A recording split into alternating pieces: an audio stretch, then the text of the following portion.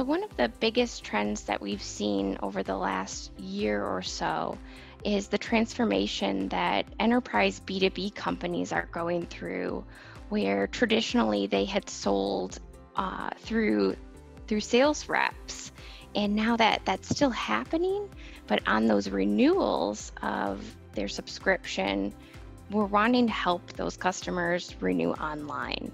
And for us who buy products on a consumer basis every day online. This is normal everyday thing.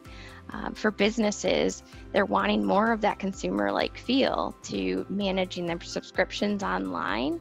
And what we're seeing is that in the past, those types of things were done through resellers and through purchase orders and fax machines. And now customers are very comfortable purchasing for $10,000, $50,000 renewals online through a credit card.